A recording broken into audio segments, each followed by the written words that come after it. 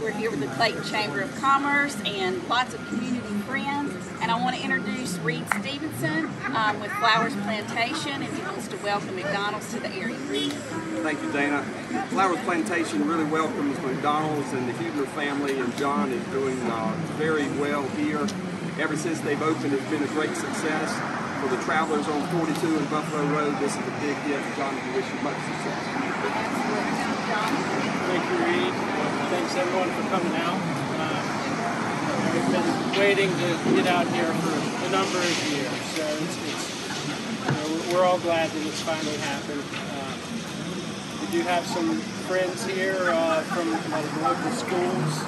We'll have uh, four check presentations here in just a few. Um, three to the schools and one to the uh, Young Life program. So, thanks everyone for coming out.